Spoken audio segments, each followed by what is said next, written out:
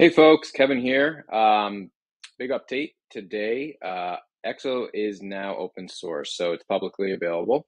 Uh, so I added the server and the app here to uh, this GitHub repo. You can find it here. It's GitHub at ExoAIHQ.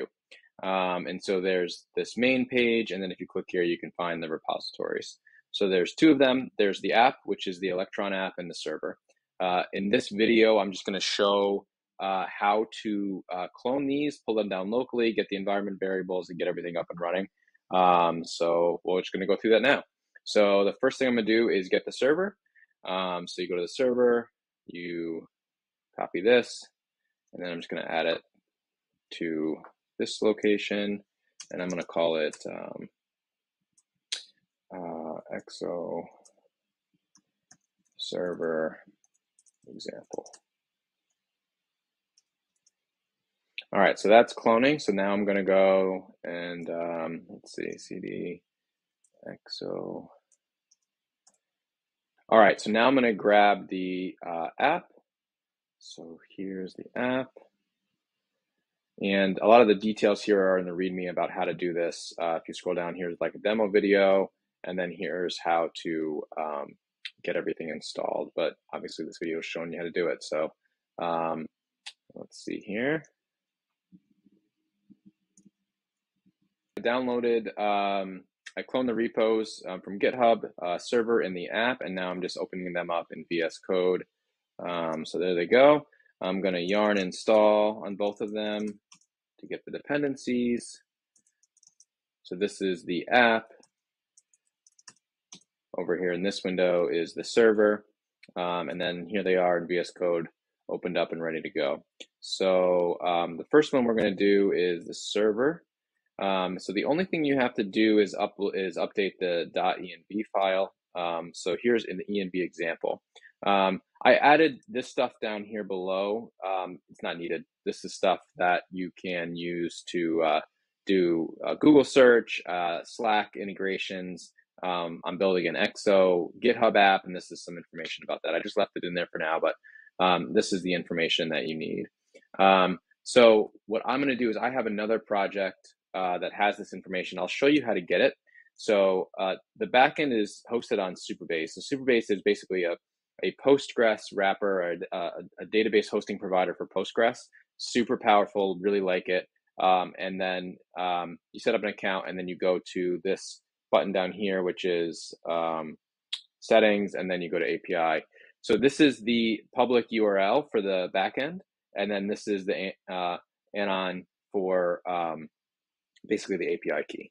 And so I have these two, you grab these two, copy this, copy this, and, uh, and you add this to this location here. So um, I have mine, so I'm just gonna copy it.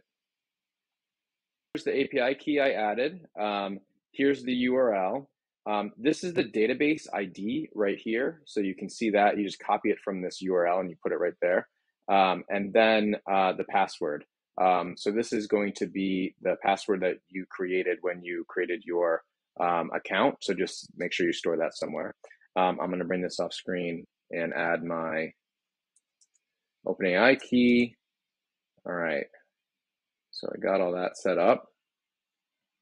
Um, and so the other thing you have to do is if you look in the package um, and if you look on how to get this up and go up and running, uh, you have to create the database schema.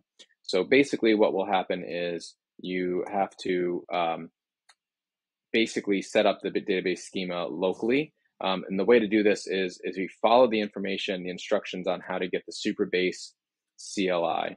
So Supabase CLI, if you just type in Google, Supabase CLI, whoop, CLI, not SLI. And then there's information about basically just how to download this. Uh, and so do that. Um, and then if you look here, there's a way to get the um, basically create your database. So it's going to create your Postgres database. Here's the reason why you put your password in there and your database ID. If folks have uh, problems with this uh, with this step, just ping me and I can kind of walk you through that. I may also just create another video on on how to do that, but that basically requires you to download the Supabase CLI and get that started. So I already did that. Um, Actually, you know what? I don't think I did do that. So let's see if I can do this here.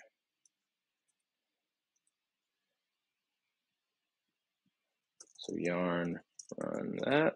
Here we go. Oh, forgot to rename the .env file. So I'm just going to pull this over here and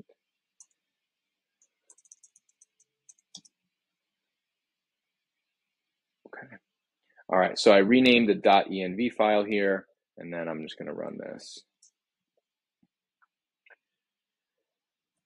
So this failed um, because I already did this. Uh, and so my uh, backend database is already running. You can tell that it's running if you go to your, uh, if you go to Supabase, you can see all your tables here. So here's like customers, code file, uh, account, you know, messages. Um, these are all the entities in the database. And so once you run this, you'll find those in the database. And that's kind of how you prove that it worked.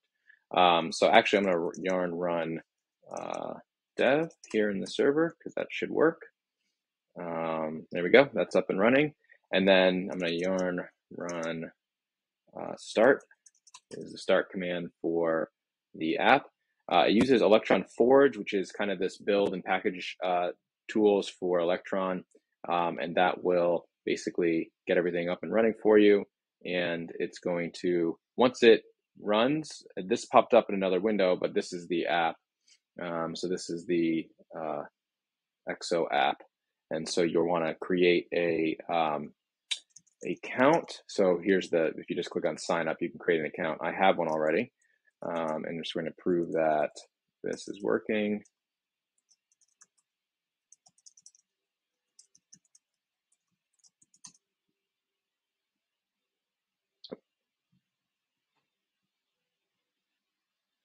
I forgot to put in the information for the app. Um, so here it is. And there is a .env example here. So basically it's the exact same information that you put in the other in the back end. So you can just copy that in there. Uh, I'm going to do that over here.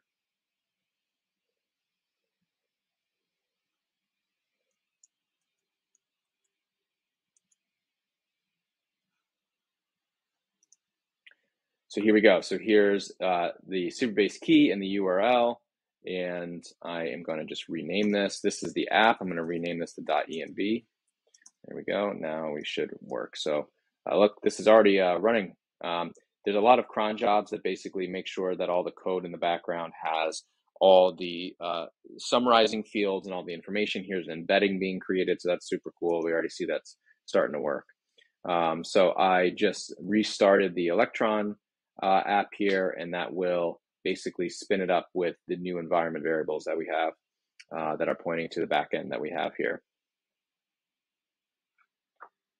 So the Electron app just popped up in this screen here, and then my user, I'm just going to double check that um, my user is the right one.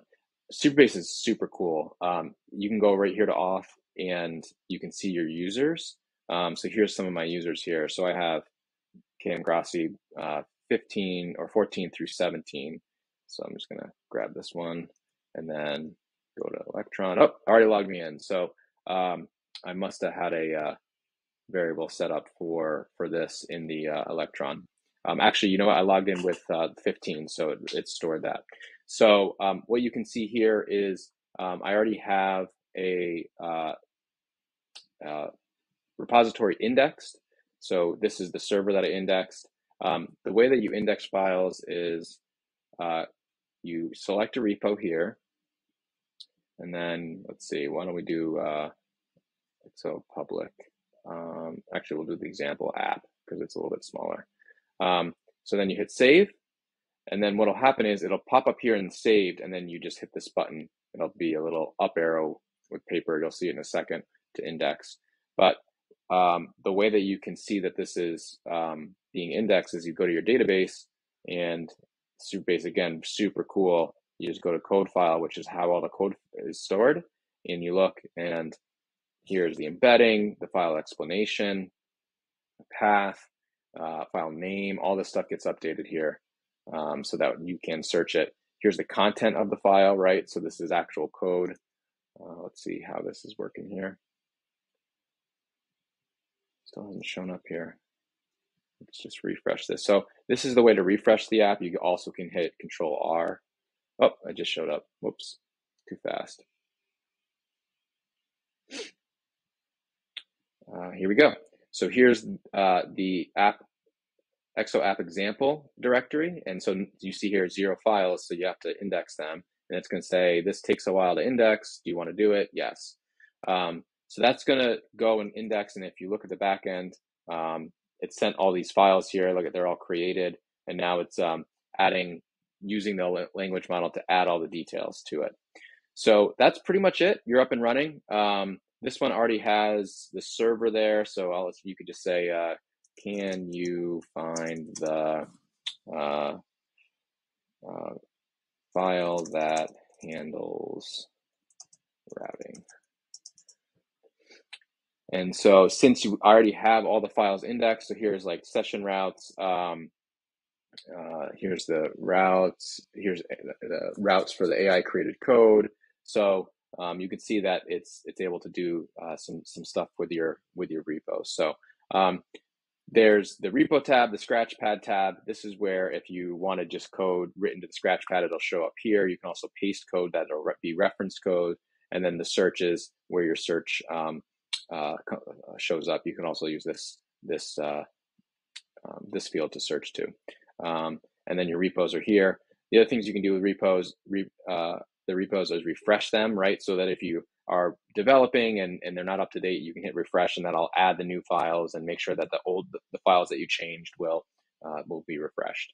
Um, you can add files, which will it will trigger the app will ask you to say, oh, why don't we just do this?